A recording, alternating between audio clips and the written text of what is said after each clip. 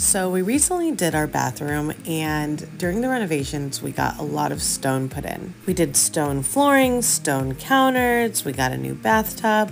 So there's just a lot of slippery surfaces and I recently discovered SlipDoctors Polish Grip. This product is great for providing anti-slip protection on polished stones, concrete, and other surfaces. After a quick wipe down, I added the polish grip into a bowl and then with a towel, I applied the polish grip onto the flooring. I made sure to put this right outside of my shower and my bathtub. Once applied, it creates an invisible barrier that has surface tension. So anytime you're getting out of a steamy shower or a bath, you could step onto your tile and no matter how wet it is, you won't slip and fall. SlipDoctors polish grip is so easy to use and this makes me feel so much more comfortable when I'm walking on wet surfaces.